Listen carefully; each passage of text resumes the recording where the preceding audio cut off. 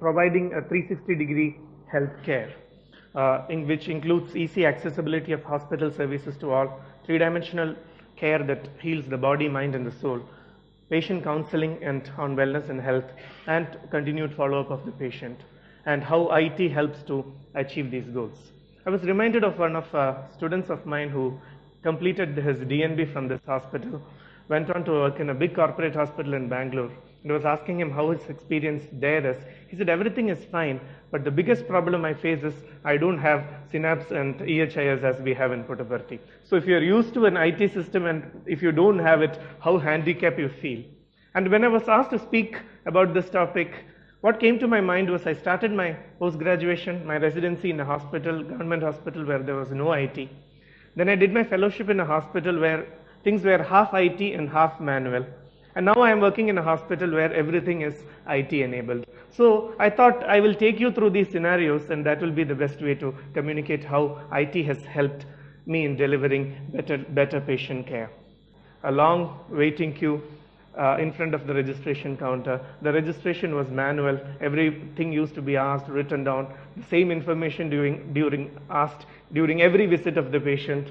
Uh, the patients, the queue was endless and in front of the OPD also the queue was endless in that hospital because if you're able to keep your chit first, you will be called first. So there always used to be a hassle around the OPD, always patient waiting.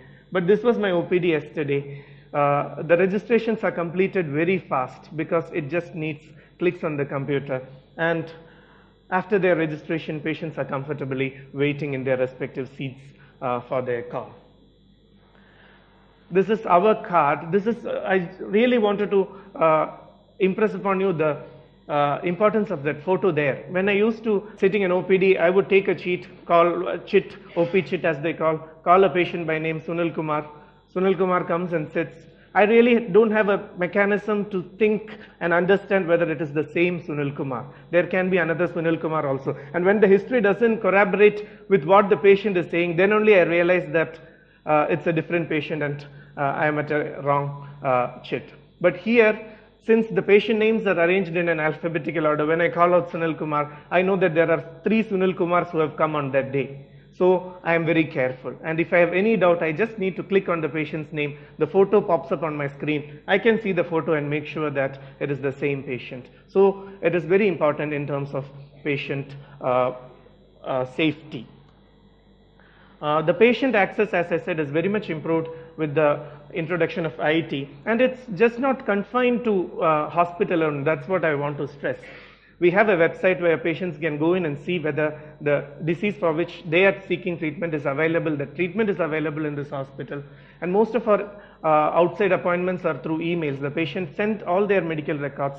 I sit and see, screen them, tell them that they can come, or I can say that this treatment is not available in this hospital, so uh, you need not come. So much of effort can be saved in that patient. Many a times these interactions go a little beyond giving appointments. You say, you tend to advise them what you need is care from a local rheumatologist or you need to be evaluated by a neurologist. So some additional inputs you can give which is also important in patient counseling. And when patients were treated who go out when they have some problem they always have the option of emailing if they get problems and uh, getting a solution from us and of course telemedicine will be demonstrated as a solid system for follow-up of patient which involves uh, faculty or uh, doctors from the local area using information technology.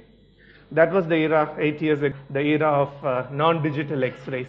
It used to take a lot of time in the dark rooms and drying and the queue before the x-ray room was uh, large. The waiting was quite large.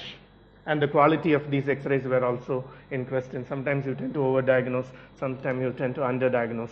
Then came the digitally developed prints, which are more, which are of more quality. But what we work with now in this hospital is the miraculous PACS system where X-rays are projected on the computer screen. You can do anything with these X-rays. You can increase the contrast, decrease the contrast, turn the windows from bone to soft tissue. You can invert, uh, you can do everything to get the information you want. You can zoom in, you can zoom out, whatever you want you can do. You can even do planning of your uh, surgical procedures on these x-ray and the most important thing is that the X-rays and all the medical information is available in all computers across the hospital. Wherever you want to deliver patient care, be it in OT, be it in the OPD, be it in emergency, any data pertaining to the patient comes onto your computer screen and everything is available. So just for patient access, access for doctors is also very important. We have a web-enabled information system and uh, PACS, which is a picture archival system. That means to say that whatever X-ray that the patient has in this hospital, right from the first day he came to the current day, that will be available for review. Whatever department he has attended, whatever consultations he has done, whatever medicines he has taken, everything will be available for a review in just one click. And it is important for security reasons. Nurses will get whatever they need to access. Doctors will get whatever they need to access. It is a well customized system. And as uh, Kanan sir said, it's a quick and personalized communication system including SMS and web mails. And we have even facility to uh, discuss X-ray with the access is given to consultants outside India also. I have sat and discussed MRIs and CTs with consultants from UK and US in this hospital sitting in this room and all of them seeing the same images at the same time exchanging their opinions. In our hospital we have a unique system of COW, the computer on wheels. Computer comes to the bedside of the patient and you have access to everything pertaining to the patient including lab reports, old records, data, whatnot. And this is the danger if you give the x-ray to the patient and ask him to take care of it. He comes back with all the tempered marks and the colors and designs on it and you are supposed to uh, plan a total hip replacement on this patient. So that old system of paper x-ray is now gone. Never depend on it. And this is the fate of a case record which is used, overused and abused by specialists all over. By the time the admission is over, this is the fate of the record. So as time proceeds, you will know what will happen. It will need repair by all these medical and non-medical available devices. So the era of paper documentation is gone. Data has to be stored electronically. And again, the question of prescription errors and transcription errors because doctors, I agree that they are very poor in doing repetitive jobs. Uh, first you write paracetamol, then you write paracet, then you write PCT, then you write PT. You tend to use short forms.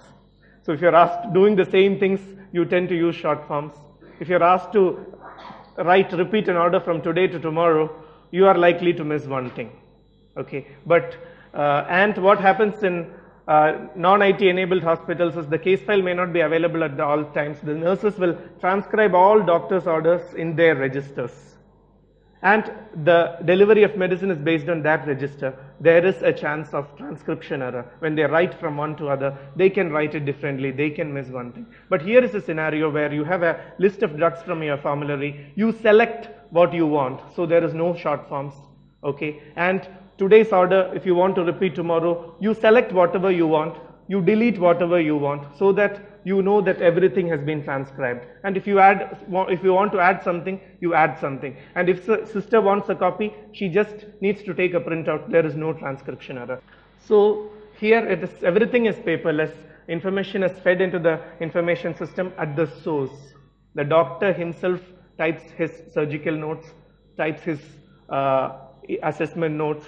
Uh, everything is done by the doctor himself at the source and it is based on uh, templates and drop downs and checkboxes so that uh, the typing is minimized and errors are minimized. And another thing is you can use the same data for multiple purposes. Suppose an initial assessment is spelled, uh, is uh, entered promptly. Suppose uh, lab reports come automatically, radiological Uh, reports come automatically. You can just cut and paste all these and make a beautiful discharge summary without an error of transcription. But of course, we have to respect the first step when you enter the data for the first time, it has to be perfect.